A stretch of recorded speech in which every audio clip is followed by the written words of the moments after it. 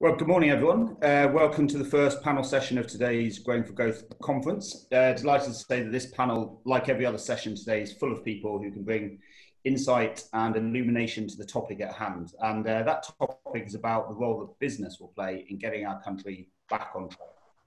Now, taking that, that question at face value, the answer is pretty obvious that business is going to have a huge role to play. Um, but sitting behind the question are some interesting issues and trends, which make the answer a little bit more complicated. Uh, for example, a lot of businesses themselves are struggling right now, and whole sectors like hospitality and aviation are under enormous stress. There are important questions to be answered about the regulatory, the fiscal, and wider policy approach which the government needs to take to allow those businesses both to, to survive, but then also to thrive and to lead the business led recovery we all want to see. I'm hoping that this session will cover topics like the sorts of businesses that might lead our recovery, how activist the government should be in protecting certain sectors and picking winners, and what the implications of new trends like greater tech adoption and more home working might mean for a business-led recovery. To discuss these sorts of issues and plenty more, we've got a fantastic panel this morning, each of whom I'll ask to keep their opening remarks to five minutes or so, so we've got plenty of time for Q&A. And if anyone's got any questions for our panelists, please do submit them within the YouTube chat or by tweeting us at, at CPS Think Tank. Joining us today on the panel, we're lucky enough to have the Chair of the Policy at the City of London Corporation, Catherine McGuinness, couldn't have put this session on without the City of London support. So thank you, Catherine, for helping us to make this happen. Following Catherine, we have the Small Business Minister, Paul Scully, the MP for Arundel and South Downs and former business advisor to Prime Minister, Andrew Griffith, and the Chair of the Centre for Policy Studies, Michael Spencer. And I'll introduce each of them in more detail before asking them to speak. First of all, I'd like to ask Catherine to make some opening remarks. Over to you, Catherine. Thank you very much, Nick. And uh, it's a real pleasure to join the Centre for Policy Studies Going for Growth conference today and for the City of London Corporation to sponsor this panel on Back to Business. Returning uh, the economy to growth as we recover from COVID-19 is absolutely essential, of course, and the private sector is naturally going to be uh, a driving force behind this. And we at the City of London Corporation, an unusual body which uh, basically not only looks after the square mile itself, but also works very closely with the financial and professional services sector, which carries um, our name. Uh, we've been very active throughout uh, this uh, crisis. Our, our, focus has been on supporting uh, the city to help employees, businesses, and the financial system sustaining our work on uh, long-term competitiveness, securing the long-term uh, um, needs um, of the city, not only by making sure that we uh, maintain um, strong uh, business links or whatever for, for, for future trade, but also by actually looking at issues such as um, our own climate action work to make sure that the city is sustainable uh, into the future.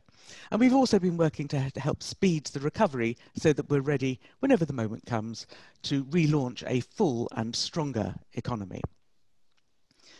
And uh, over the last six months, the city's Lord Mayor and I have spent time talking to businesses across the square mile and throughout the financial and professional services uh, sector. And we've been talking to them about how they're coping with the virus, how they're returning to the uh, workplace, because they've been working throughout, I should underline.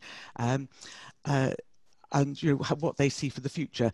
And we've heard a number of major strands. We've heard how the sector has innovated, both by adapting quickly to make sure that the workforce can work from home, but it's also innovated to help the wider economy through this difficult period, for example, through developing new forms of payment or new insurance products. And despite the obvious difficulties, the markets have held up and remained open showing the adaptability, resilience and innovation of businesses and regulators alike. And we've seen how some of the technological change which was happening anyway has really accelerated and uh, we've really moved, somebody said to me, you know, five years or a decade perhaps quicker than we might have done uh, other than the challenge of this uh, dreadful virus. But we've also heard, besides the uh, uh, um, the role that innovation has played and uh, the way that that has uh, sped up, we've also heard from many people that a green-led recovery is essential, with businesses across the world recognizing that we can't go back to things just the way they were. And uh, firms are looking to build back better, not just by enabling uh, technological innovation, but also by supporting a greener and more sustainable recovery and ensuring that environmental, social and governance criteria are central to investment. So the City Corporation is really looking forward to uh, another event which we will be hosting, a Green Horizon Summit in November, when COP26 would have been, to showcase how green finance is fundamental to the recovery from COVID-19 and how to mobilise capital at pace so that the UK can meet its net zero target. And another opportunity uh, that the push for growth gives us is to focus on the government's levelling up agenda. Financial and related professional services are critical to the UK's future competitiveness in many ways. And with two thirds of the roles in the industry based outside London, they're also a really important way to drive growth around the country. We see, for example, innovation and invention being nurtured in small, agile companies um, around the UK, and global firms have increasingly significant footprints in UK cities such as Edinburgh, Manchester, Birmingham, Cardiff, and Leeds, attracted by skilled populations, reduced overheads, and space to grow, and a different lifestyle uh, in the different parts of the, the country. And we uh, here at the City Corporation try to work with the wider sector using the global reach of the City of London to spotlight opportunities across the country to international audiences and importantly to promote the whole UK as an excellent destination for uh, foreign direct investment. So business and the financial services sector in particular has a huge amount to offer at this time when we're really looking to uh, drive the economy to speed the recovery. So the question uh, posed is what can the government do to help this? And I would uh, suggest uh, I would suggest three uh, points. Uh, first of all, let's look a little bit at that question about returning to the workplace. And we mustn't forget, uh, in particular, SMEs. 99% of UK businesses are small and medium sized. And those in city centres in particular can be really struggling at the moment while footfall remains low. This is a particular issue for the part of the uh, city which I'm currently sitting in, the part of London that I'm currently sitting in. The big businesses here are absolutely thriving. They're doing their work uh, from uh, um, uh, remotely from, from home. But the small supporting businesses need to see more people back at their desks uh, in order to uh, in order to return to um, uh, profitability and growth. And firms in the city are gradually seeing an increase in the numbers of workers returning to the office. Clearly, that has to be done in a way which is safe and in line with government guidance. Uh, but what would be tremendously helpful would be to see support in uh, making clear to people uh, how it is safe to return to the workplace and encouraging people to do that. So support from government for that message return to the um, office um, and clarity around guidance on what is uh, safe uh, would be uh, really, really helpful. We do find sometimes uh, that positions either change very quickly and one understands that this is a dynamic situation with the virus. Um, uh, uh, uh, or that or that the advice that's coming out isn't as clear as it might be. So a, a call for a support for returning footfall, uh, but also clarity uh, around um, uh, messaging and safety. And I really would just stress again uh, the particular challenge faced by the centre, the centre of London, and I think the centre of other cities um, as well. Um, we've seen some uh, uh, some very successful, um, uh, uh more local developments, a growth in the 15-minute uh, economy, um, and um, much more local activity. But this isn't really helping the, the, central activity zone in London, where we need international footfall, where we need tourist footfall, where we need business footfall um, to to you know, for the businesses there to thrive. This is actually a question not just of um, reinventing how those areas work. But I think we do need to remember what the strengths of those areas bring to the country as a whole. Uh, uh moving away from my financial um, uh, link for the moment, let's think uh, uh, for a second about the uh, arts sector where the West End is so absolutely critical. So that was my first uh, main area, re uh, returning footfall where it's safe to do so. Secondly, um, I'd like to just come on to some of the uh, challenges that some of our businesses are going to face as the government support schemes come to an end. This could really be a cliff edge for the economy. yes, of course, the support schemes have to end at some point, but of course, thought needs to be given to whether they should stop suddenly or be tailed off. Uh, um, let's keep in mind, for example, that government loan schemes such as the Bounce Back Loan Scheme and Coronavirus Business Interruption Loan Scheme are due to begin repayment in March 2021. They've been really helpful, but the build-up of debt is going to have a big impact. The City UK, a cross-sectoral body representing um, our sector, uh, predicts that one third of the 2 million businesses that have received support, one third of the businesses that have received support may be unable to service that debt, which could leave 3 million jobs at risk. The financial services industry is well placed to help the government tackle this debt. And to that end, the City Corporation has been involved in a project led by City UK and EY that brought together 200 financial experts from 50 financial and professional services firms. They recommended a new government-backed entity, a UK recovery corporation, which would put the debt on, more, on more manageable terms and provide a vehicle for future private investment. And as a result, the UK is the first country to have an advanced plan for recapitalisation. But with this potential debt crisis, a problem that uh, this potential debt crisis, a looming problem for the economy, um, we do need government help, and we, would, uh, you know, the government should give serious consideration to implementing this plan. And then, very finally and very briefly, uh, the other cliff edge that's looming if no deal is agreed. Uh, uh, the the other cliff edge looming is the situation if no deal is agreed by the end of the transition period uh, with the European Union at the end of the year. And uh, um, there is a very real risk that if a deal is not agreed, uh, the growth and recovery from COVID that we're beginning to see could be hampered. So it's essential, I, uh, uh, I suggest, that efforts are redoubled to find the best possible solution to avoid uh, an outcome that would damage our economy. So it's been an enormous achievement that many sectors and many businesses have continued largely as usual through this pandemic that has really demonstrated the strength of um, uh, many sectors. It's uh, remarkable resilience, which will play a real role in business recovery across the capital and the nation as we go forward.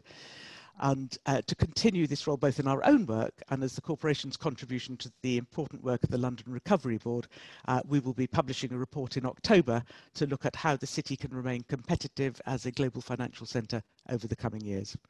But it's the fundamental strengths of London that are going to help us recover and rebuild, together with the strengths of other parts of the country, uh, as we've done before, and I am very confident. I look forward to our discussion. Thank you, Catherine. Some uh, some great opening remarks there, and I think one of the really interesting things that came out of your comments, from my perspective, is the the relationship between London and the rest of the country. And you know, the levelling up agenda has been a very important one for this government. It's put a lot of emphasis on it. I think a lot of us feel, self included, that it has to be, and you know, the clues of the language, it has to be London and the rest of the country, not London or the rest of the country. Um, and I think that's more important than ever off the back of uh, the response to this pandemic.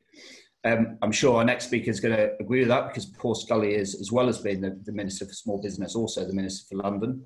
Um, he's an MP for Sutton and Cheam, and of course, before he was in politics, was the owner of many small businesses himself. So Some uh, gnarly issues that Catherine presented. If you want to cover some of those and, and wider remarks as well, over to you. Yeah, thanks, Nick. And there was a couple of bits right at the end there that I wanted to to lead into. First of all, you talked about how uh, it's not London or the rest of the country. It's very much London and the rest of the country.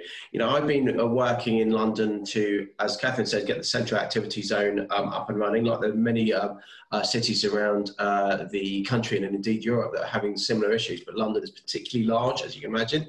And the West End itself, uh, before we even get to the city, the West End itself represents 3% of the entire UK economy.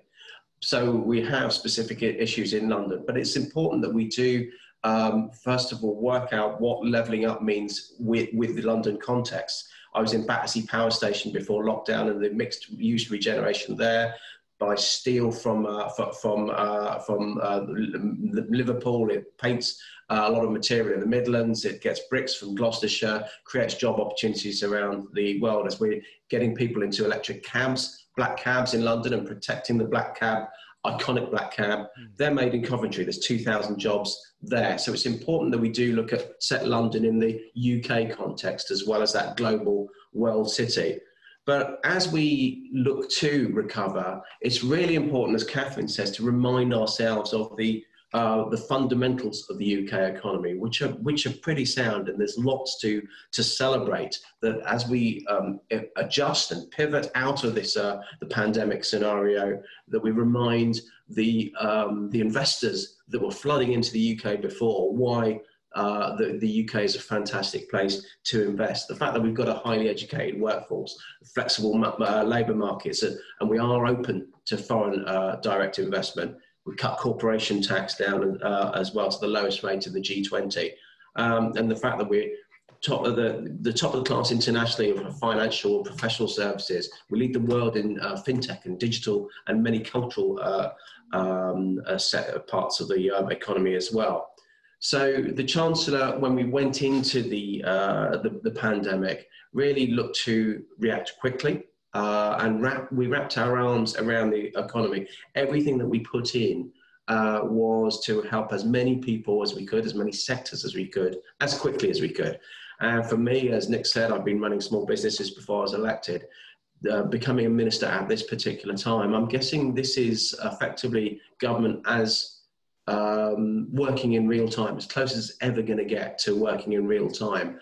The, the agility that the government has had to show in so many of the issues uh, that it's faced, remembering that the government, uh, the first priority of the government is to save lives, but restoring livelihoods, protecting jobs, protecting businesses, protecting sectors is so, so important for the long term to make sure that we can bounce back as well.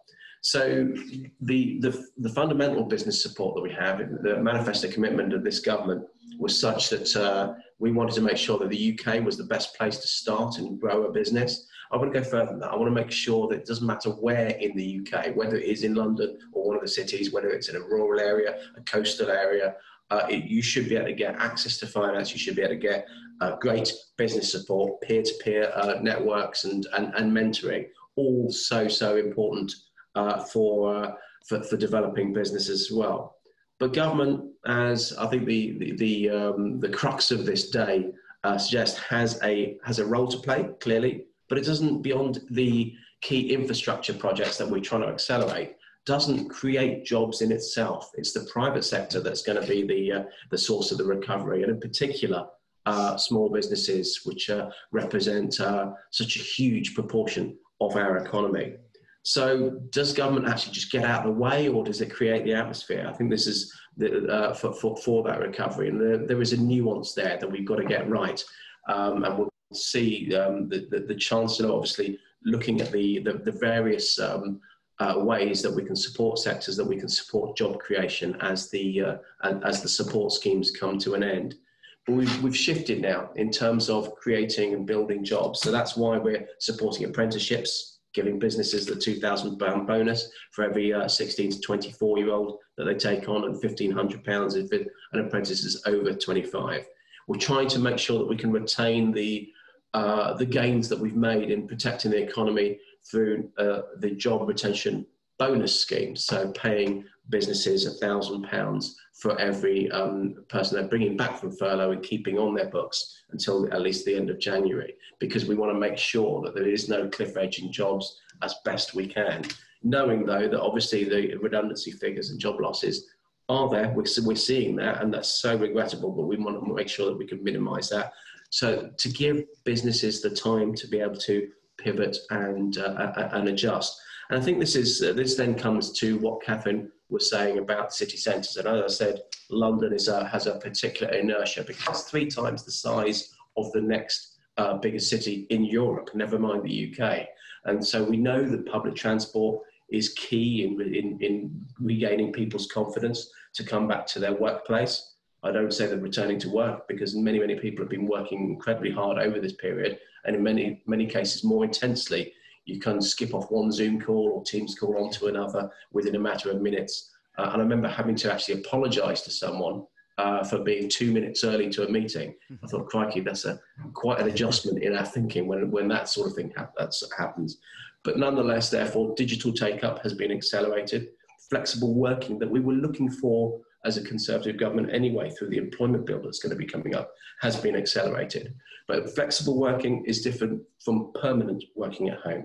Mm. Frankly, permanent working at home risks becoming living at work. Uh, I say that for someone who's run small businesses set up around my kitchen table. I've worked from home, I've worked from uh, sites, I've worked from clients' uh, properties, I've worked from offices.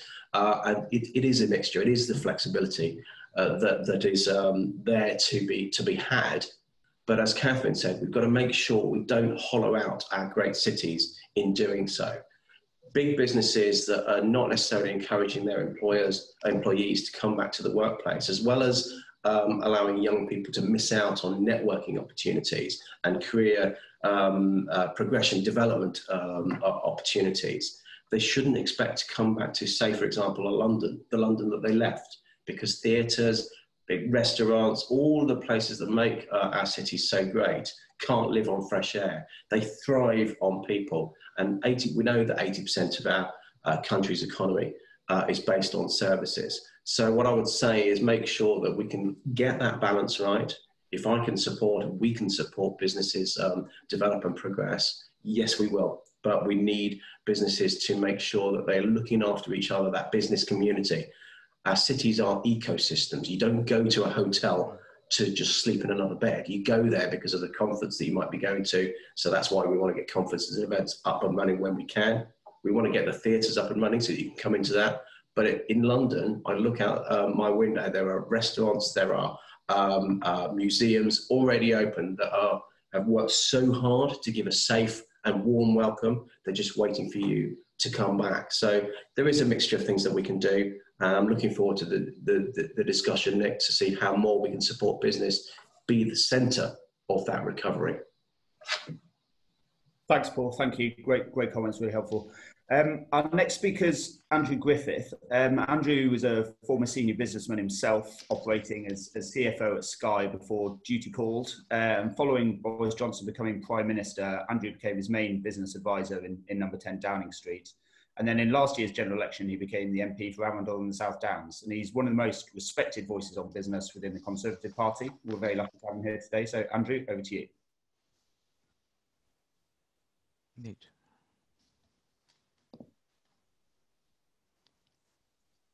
Sorry, can you hear me now? Thank you, Nick. Um, it's a great pleasure to be here, um, and this is a very important uh, conference. It's also a great pleasure to follow my colleague um, Paul Scully, who I have to say is a first class small business minister. Uh, there is no better choice, uh, and he is, I know, doing a wonderful job. So we're, we're all in good hands. Um, and uh, the same is true of Catherine looking after the interests of the uh, city corporation. Look, I'll be brief because um, there's no point us all agreeing with each other. But, but private enterprise is absolutely fundamental to how we grow from here. I mean, if we're brutally honest, we're in a little bit of a hole, right? We've lost, uh, even after today's GDP growth figures, we've lost almost 12% of our economic output if you if you uh, understand the fact that a large part of that GDP is actually funded by the state, it's state state circular spending, the actual private sector economy is down by significantly more than that. So we have a great job of work to do, and why it's really important that you've put today's panel together, Nick, and the the work the CPS in doing this area is so very vital to all of our futures. The good news is that the private sector has had a very good pandemic. I mean, that sounds weird, and take please take that in context. But with the exception of one wobble about panic buying, our private sector supply chains have done a fantastic job. Right, we've been well been well fed. We've had our supplies. Uh, we've been able to keep uh, board, our borders open um, and goods flowing around the world. And we shouldn't forget that because you know some parts of our um, state sector have been found wanting uh, they have found that the connective tissue isn't there.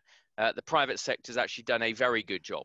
Um, and there's a lesson for us all um, in, in how perhaps the state could do fewer things, but could do them better going forward. We shouldn't ignore that when we think about Build Back Better. That's not just about greening the economy, it's also about that very large part of the economy in the United Kingdom that is, is consists of the state sector, driving productivity and output improvements from that. I think the state has probably three, three roles to play. Uh, the first and most important, and I won't talk about it, is building confidence. You have to have confidence in the economy, uh, and clearly there is more work to do on that. The second is certainty, and linked with that is people deploying capital. And, and the government, again, has a really big role to play in providing that long term certainty and that confidence to invest. Uh, whether it's the uh, ability of, of businesses to make a return on their investment, which is not just a mathematical equation, it's also about the regulatory environment in which we operate. It's about the confidence in the, the rule of law, which the UK is one of our great assets, uh, but it's not universal. And it's also about making sure that the state forms the right balance between the needs of consumers and having vibrant competitive sectors of the economy, but also allowing businesses to invest, to create infrastructure and make returns. And again, to be a little controversial, I'm not sure we've always got the balance of that right. I think in some cases we've outsourced some of those regulatory environments to arm's length regulators so that those very carefully tuned balances that perhaps ministers would be better equipped to make in a democratic society, we've now got being run by arm's length regulators, which drives a culture of risk aversion. And that can be fatal to the ability of capital to invest and make a long-term, a long-term return. And then the third job is access to markets. Uh, I note today the breaking news that we seem to have reached a fantastic free trade agreement with Japan. Um, that's just one brick in the wall uh, of building a post European Union international set of free trade agreements, which provides us with access to markets. And then, fourth and finally, I think there is a role for uh, a modern state, a progressive state, in being choiceful about those sectors in which it thinks in a hard headed way that we as an economy can really compete on the world stage. FinTech would be a brilliant example, the City of London. But so would the emerging opportunity in green tech and hydrogen, uh, which I think could be as powerful to boost the economy as North Sea oil was in the early 80s, which, if you remember, helped lift this country out of its post industrial malaise. And there are other examples we could go on about life sciences, uh, about our role in artificial intelligence. Uh, and, and a lot of those are led out of the department for which uh, Paul is a minister. You clearly have to be hard headed. I don't want to see um, the state crowd out private enterprise, but there is a legitimate role in a choiceful and sensible way, uh, you know, informed by some of the best business minds that the UK is blessed with, for us to make those choices. And if I'm again honest, I think some of those are hanging in the balance. I think we we have the chance to be the leader in some of these emerging sectors, but but we need to get up and get behind them now as we emerge because we've got a big mountain to climb in terms of getting this economy growing again uh, and creating the prosperity that we need to fund all those public services that we love mm. and that we've furloughed and they're all working from home or not working at all. There's this big, big body of, of the public sector that we've got to carry on our backs. And it, it means that we've got to be really good um, and at our fighting weight from the fr- free enterprise, the private enterprise side of the economy. Great, thanks very much, Andrew. I'm, I'm interested in this idea of um, the the sectors and the industries that uh, we we think are going to play a particularly prominent role in, in, leading that recovery, and also the implications of that for for how far the state might go in identifying them and then supporting them. There's been, as you'll know, a lot of comment over the last few days about uh, UK state aid rules in the future, and just thinking about what a um, appropriate regime and set of rules and principles is to support those. Um, something maybe we'll, we'll come back to. Um, our final speaker uh, is one of the most preeminent entrepreneurs and businessmen of his generation, founding ICAP in his early 30s and growing it into an organisation worth billions of pounds. Um, he's now a director and an investor in various companies, and we're lucky enough to have him as our chair here at the Centre for Policy Studies. So over to you, Lord Michael Spencer. Um, Nick, thank you very much indeed, and uh, I am thrilled to be involved in this conference today. Uh, the subject matter is critical um, for, for all of us, for the country. We have got, we've gone through the worst recession ever in history, actually, um, certainly in modern history. and, um, and although obviously the statistics last month were positive, we're a long way from getting back to where we were beforehand. We want to do everything we can to have a V-shaped recovery, and more than a V-shaped recovery, really, because this is a, a, a, you know a sentinel moment in the history of the UK, not just the recovery from COVID, but also leaving the EU. We, you know, the decision to leave the EU, uh, controversial with many, is uh, was taken, but obviously one of the great one of the great core reasons for leaving the EU is that the, the, the country can begin to make some very big decisions about what kind of country we are, what kind of economy we want, unfettered by EU regulations. And uh, it's important that we think of all of these issues together to what the ideology of UK PLC um, looks like in the post-COVID, post-EU world. Um, and I think the starting point to me as a businessman entrepreneur is that if we want to get growth going in this country, if we really want to see it supercharged, you, we need capital investment. Um, we need capital inflow from internationally into the UK, and we need domestic investors to deploy their capital. And I think um, I would say absolutely at the outset, I think some of the suggestions of tax rises that may be imminent in the forthcoming budget in November, uh, particular capital taxes, will be deeply damaging to that process. Of course, I understand the argument that um, COVID has increased the national debt very, very dramatically. Uh, GDP, sorry, national debt as a percentage of GDP is now up to uh, levels that were only seen during the, you know, after the last war. Um, and therefore it looks at one blush that our balance sheet is very stretched. If you, however, factor in that we have record all-time low interest rates at the moment, not just in the UK, but globally. And by the way, um, I've spent my entire career in financial markets. That environment is not about to change soon. The actual cost of servicing our debt as a percentage of GDP is nowhere near the red zone at the moment. That doesn't mean to say that we can be oblivious to our debt, but I'm saying it, it, it, you need to look at the stats before you, you, you get into any panic. And I, I think that the, the threat of an increase in corporation tax um, and also capital gains tax would be profoundly damaging to the growth of the, this country. Um, we've had great success in the UK, as we know, over the past 10 years in slowly reducing um, corporation tax and seeing considerably increased inward investment into the country. Um, and indeed, oddly enough, the Laffer curve works. Our, receipt, our receipts from corporation tax have gone up in that period. The reality is that taxation does impact behavior and lower taxes do not, sorry, lower taxes often result in increased income. And no finer example on the issue of corporation tax exists um, if you were ever to debate this than to wonder why it is that Ireland, not exactly the largest company in Europe, has the Ireland's revenue from multinationals that are use Ireland as their European headquarters, their tax revenue is greater than the aggregate tax of every other European country put together. And that is achieved for one very simple reason. Ireland has a more attractive corporation tax rate.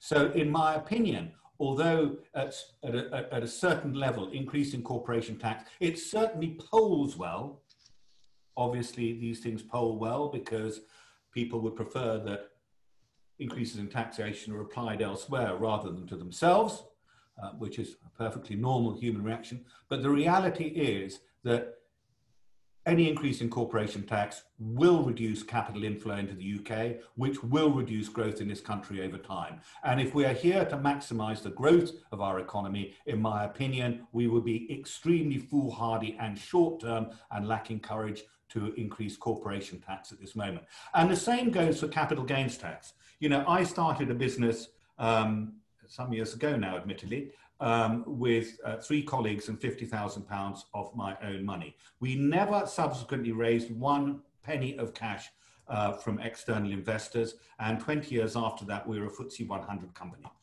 If in launching that business, I was looking at a potential capital gains tax rate of approaching 50%, which is what is suggested in some quarters may happy if it happen if it's moved up to the top rate of income tax. I profoundly doubt I would have started that company in the UK.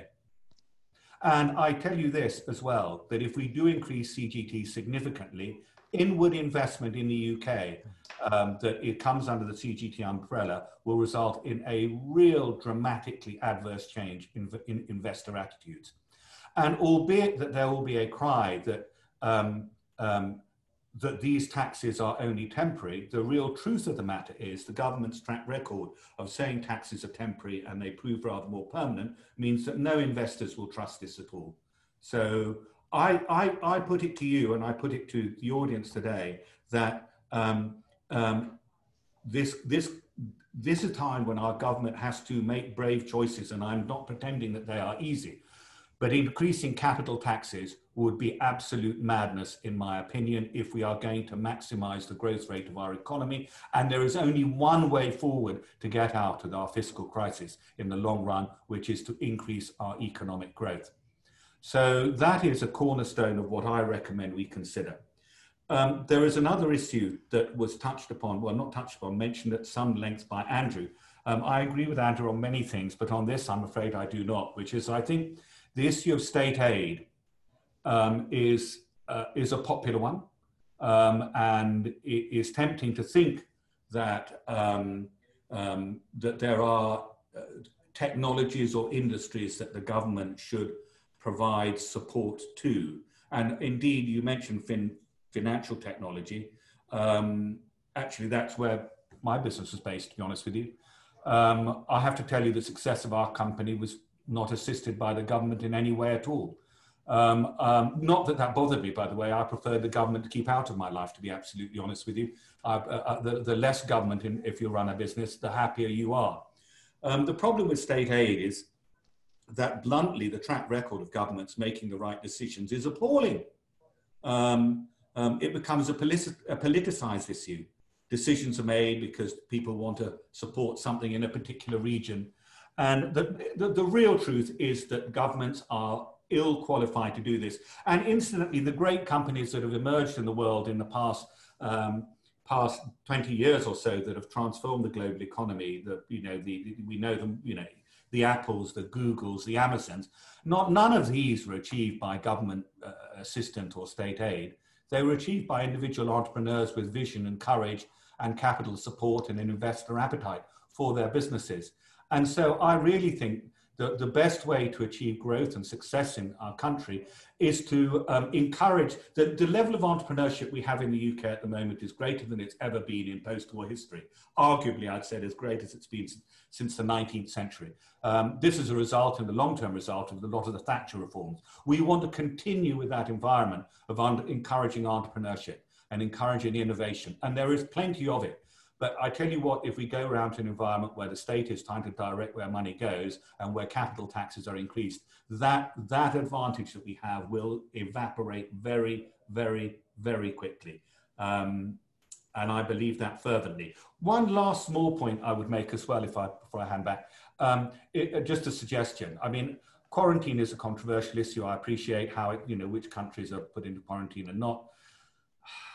I'm a bit more libertarian. I think we should do less of it. But we are where we are. But one thing I really would suggest is why on earth, if people are quarantined, they're not able, let's say three or four days after their return to the UK in quarantine, to go and get a COVID test and uh, we apparently seem to trust other COVID tests, which we do domestically. Why we wouldn't allow that to happen would open up the UK to business travel. I built an international business at one point. I had 63 offices around the world. Funnily enough, I traveled rather a lot. Actually, my job isn't quite like that anymore. But where I running that business and I was unable to travel, uh, it would have been severely negatively impacted. So I think we need to show flexibility on issues like that. Enough from me. Nick, back to you. Thank you. Thank you, Michael. Uh, I thought I thought there was a risk that we might all be in violent agreement with each other on, on lots of these issues, and I suspect we are deep down. But uh, thank you for providing some some very useful challenges. Um, given we have a, a, government minister on the on the panel, I think it'd be remiss not to come to Paul first um, on on a couple of I think really important agenda items, which um, first Catherine and then and then Michael brought up. The first of those, I think, is the, this idea about recapitalisation and, and the debt pile that lots of uh, businesses are going to be landed with for often reasons which are nothing to do with them doing. The fact that the government um, made a set of choices which basically put the economy on hold, uh, forced a lot of those companies to take on debt, um, and they willingly did so, but it's going to be very hard for service that debt. So, Paul, if, if you would, I'd, love some reflections from you on, on how you think those businesses might best deal with that and recapitalisation proposals in particular. Secondly, um, again, for you, Paul, Andrew and Michael have both talked about the importance of this uh, invest, investment uh, climate, if you like, how we can make sure that the UK continues to be seen as a destination worthy of capital being deployed in. Um, and there were very specific issues just raised by Michael around, around the tax environment which businesses face. So if, if I could, I'd just ask you, Paul, for, some brief remarks on those two issues. Yeah, no, absolutely, Nick, and thanks very much. Really um, uh, interesting, fascinating points by by all uh, uh, the panelists there. Um, in terms of the the, the debt part, uh, look, I think as you say, Nick, uh, and as I said in my introductory remarks, we moved really, really quickly to to make sure that uh, businesses could get what they absolutely needed at that time, which was cash flow, um, certainty of cash flow. So it's so important to to work through the grants for the smaller businesses, the retail, leisure, hospitality, and small businesses, uh, but importantly, that um, the access to finance that we were struggling to get out, which is why we had to tinker a few times in response to what business was telling us about the CBILS uh, loan. We had to uh, bring in the CLBILS loan, etc. And then finally, the bounce back loan was the one for smaller companies, anyway, that really hit home, that was popular uh, that was easy to get out the door, that was uh, on, on, good terms for those businesses who then felt more comfortable in having an appetite to to, to take on some uh, some some um, some finance. But uh, but you're right. I think we are we do know that that means that um, that um, businesses are going to come to a point where the 12 month holiday, for example, the bounce back loan comes to an end and they've got to start paying it back. We've tried to limit that interest rate. I've seen Catherine's um, recapitalisation strategy, and I think it's important. We'll take, you know certainly reflect on that and take that on board because we do need to uh, um, to work with businesses to to to to, to get through this process. Um, in terms of inward investment, um, I talked about the fundamentals of the UK economy. I talked about the fact that uh, we need places like London, which, as I say, is not in isolation, but is a, a showcase for the rest of the world um, and uh, to, to make sure that when international uh, tourism comes back, for example, we're ready for them. We haven't hollowed out the city, but we must also uh, make sure that we can uh, show not only that we've got all those fundamentals in place, but that we are absolutely open for that inward investment as we have been for many, many years. There's no accident that actually we were, um, uh, you know, one of the top three countries for inward investment uh, before the pandemic um, came in. And um, as Michael talked about tax, look, I'm, I, am a very big tax, tax simplifier myself. Uh, you know, we've got a huge tax code. I don't really want to make it any longer, um, frankly. Uh, I, am very much a Ronald. I was asked yesterday on another panel, my political hero, and I, I, was starting to go down the line of Margaret Thatcher, but then I looked at Ronald Reagan, who um, worked in partnership uh, with her um, and changing the economy uh, of the global economy over the 80s. And the I always remember his top uh, worst nine words in the English language. I'm here from the government, and I'm here to help. Um, so this is why government can help shape. It can help nudge, as Andrew was talking about but ultimately it's businesses that uh, that need to um, uh, be freed up to to to uh, uh fuel the recovery, and so that's why I'm believing simpler, uh, simplified tax system. And I know the Chancellor. The Prime Minister's talked about no more, no austerity 2.0. The Chancellor has talked about um, no huge tax uh, rises but we've just got to find a balance. We've got to find a fact that the furlough scheme and all the support costs 160 billion quid. That's more than the um, in six months or so of spend. That's more than we spent on the NHS by some way in an entire year. But as Michael said, there are more than one ways of skinning a cat in terms of um, paying down that debt. Thanks, Paul. Um, Andrew, I'd be really interested in, in, your reflections on that that tax point and uh, some of the points that Michael was making around the Laffer curve. And one, one of the very interesting uh, dynamics that struck me off the back of the stamp duty cut was just the injection of activity that that's led to, and the fact that suddenly we've got you know property market absolutely booming again, and it shows that if, if taxes are put in a, in a proportionate way and cut in the right sort of places, it can lead to a lot of that economic activity. So be very grateful, very grateful for your comments and reflections on that. And then also, if you would perhaps you could expand a bit upon uh, your idea of prioritizing certain sectors and certain areas and, and where the limits are in terms of what the state can and should do there, particularly in terms of financial support and state aid. Yeah, uh, look, I mean, I just associate myself with the comments from Michael on tax. Um, that that I fully support that. I mean, one of the uh, the things that I came into politics to try and do is remove friction on businesses. That's how you build a strong private enterprise economy. Um, and the tax is a point of friction. Um, I've always made the point it's about two things actually, and I saw this on the other side of the table. It is about the rate, and, and in some cases we're competitive and in some cases we're not. But as much about the rate, it's also about the simplicity of administration. So the UK ranks about seventh in the world for competitiveness of tax rates, and it's about 27th in the world for ease of paying your taxes. So that goes a little bit to my not quite Whitehall reform point, um, but but there's a big role in terms of how the state can get better. Uh, and actually, to give them credit, I think we would all say um, that some of those direct interventions that HMRC put in place at a much faster rate than anyone ever said they could, um, and, and, must have taken a lot of challenge and pushing to get them to that point, um, have worked pretty well. So I think we should be encouraged a little bit that there are big benefits if we can make that side of things more productive and close that gap between where the rates sit and where the ease of administration sit. I think Michael has done me an enormous disservice. Um, you use the word state aid, Nick. I did not use the word state aid. Um, the sort of support I want to see for some of those high growth industries is actually exactly the sort of support that allowed Michael to be so successful in his business, which is actually removing impediments. I, I, contend, without knowing the detail of Michael's brilliant success, that if it wasn't for things like deregulating capital controls and deregulating the market and the big bang uh, and all of that, that, that that business may not have come into fruition. Uh, and so my analogy for these sectors is actually to try and hack through some of the thicket of regulation um, that prevents them achieving takeoff velocity. That's all I mean. So if, if we looked at, uh, I'll pick an example I know a little bit about, but if we looked at hydrogen, um, perfectly possible to make an excellent hydrogen car. Um, but some of the regulations that have been written don't really make provision for that.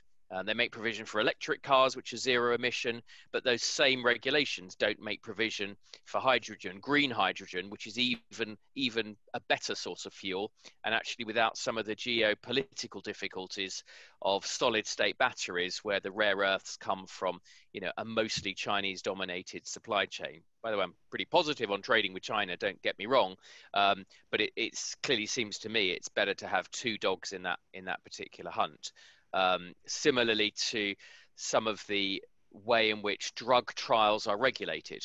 You know, we have potentially one of the most competitive life sciences industries in the world. It's a huge generator of tax, and uh, it's exactly the provider of the sort of high end, skilled scientific jobs that we want. Uh, in our in our country, but it's a global competitive market. Every other country sees precisely the same opportunity, uh, and so we need to be able to compete in terms of access to a modern data uh, regulatory environment um, and make sure that we're not putting overburdens in place from our socialized healthcare system so that our drugs companies can be fully competitive and make the most of the opportunity. So it's not about um, where you put public money.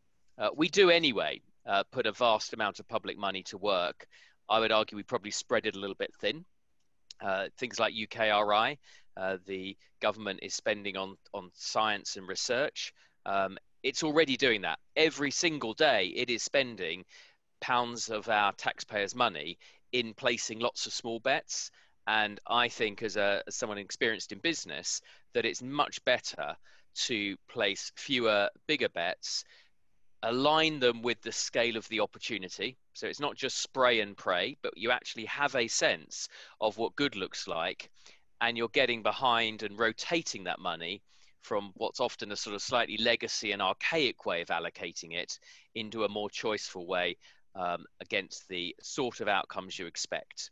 Uh, and then being hard on yourself you know, if that's not coming to fruition, if we're not delivering the growth that we need, then reallocate that to uh, to areas that we do.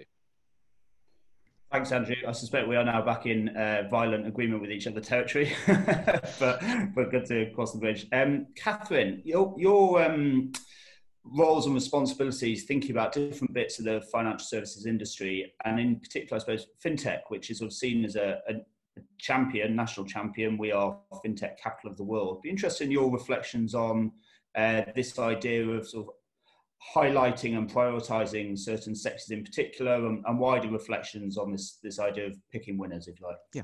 Well i think it's a very very interesting um, suggestion and i do uh, think that andrew's point just now that there are a raft of measures which government can take to support sectors uh, beyond uh, um, uh, simple state aid uh, uh, is, is, a really key one.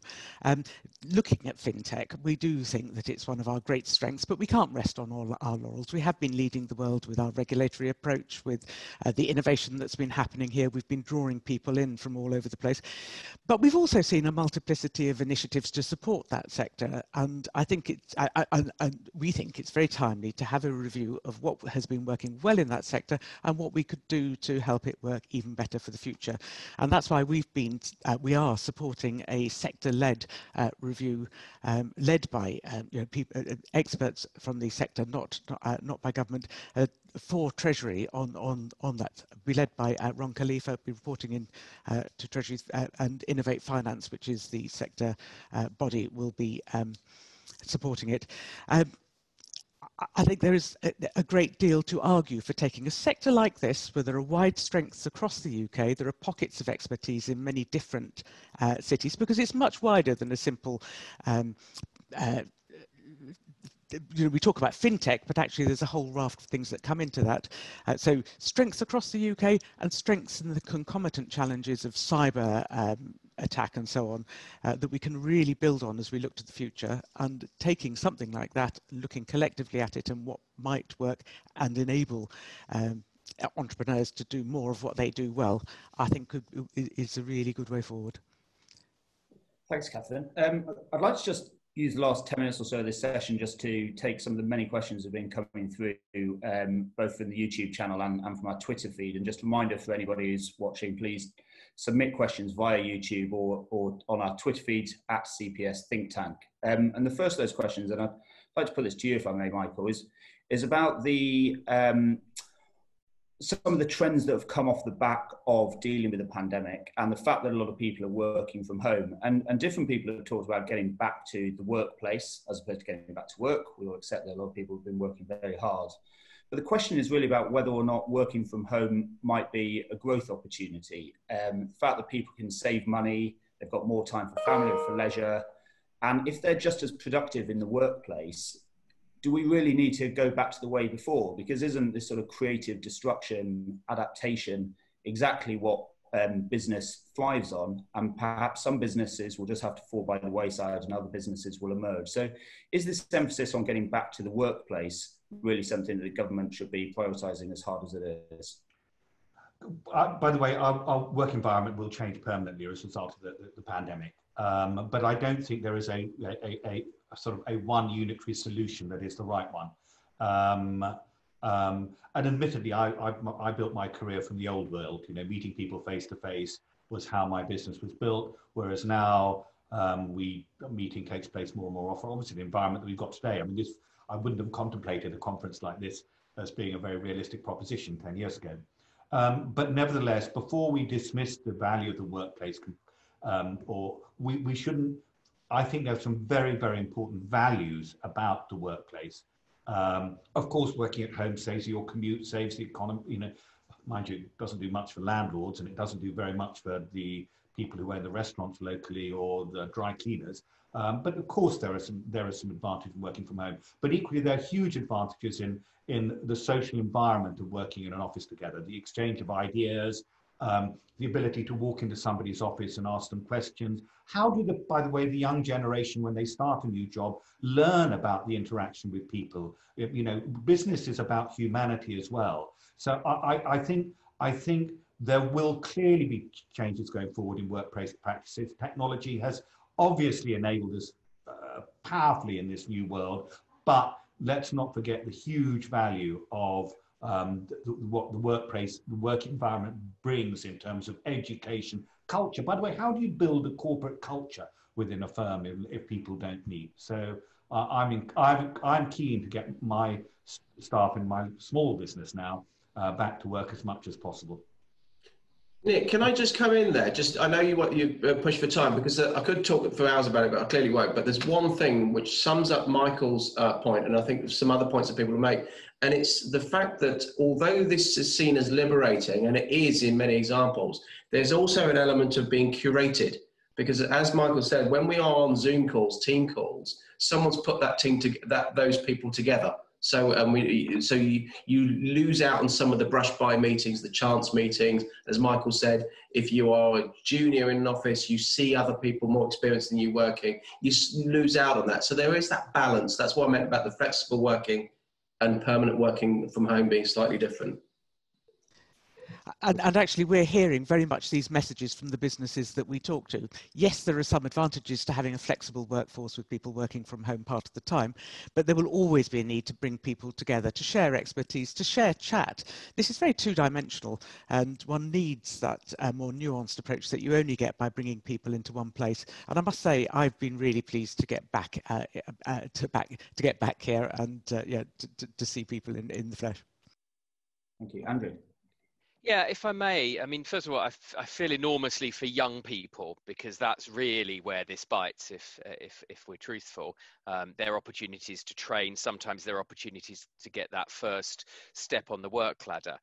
I actually think it's also a little bit bigger. This is a question about our cities, and, and this is a big, profound thing that we as a society have to ask.